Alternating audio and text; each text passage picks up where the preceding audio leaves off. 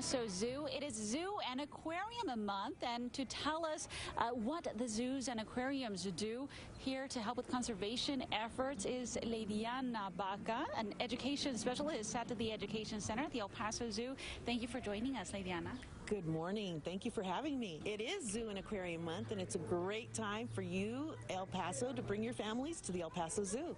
Now, a lot of people come to the El Paso Zoo, obviously, to see uh, the animals with their families, but it's not just about entertaining people and get letting them learn about the animals. What are zoos doing to help animals out in the wild? Well, uh, zoos have evolved over the years and they continue to evolve. So while we now focus on animal welfare, conservation, and education, um, they are entertainment centers for other uh, people.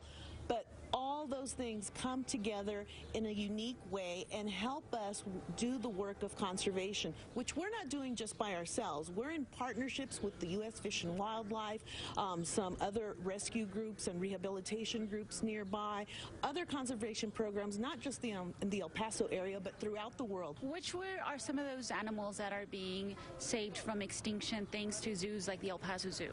Well, we do have an active program right now with our wolves, and you can learn more in the Chihuahuan Desert exhibit. We are actively participating in returning the wolves to the wild. We also have an area where we have um, horses, and we call them P horses, and they are actively being returned to the wild where their numbers are diminishing. I think my favorite thing about conservation efforts at the El Paso zoos and zoos around the world is seeing the babies, the babies come out of these conservation efforts.